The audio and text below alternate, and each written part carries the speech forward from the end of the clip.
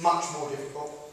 Side kick, trap the bottom leg, kick him down, foot on the ground, back to my knees. Okay?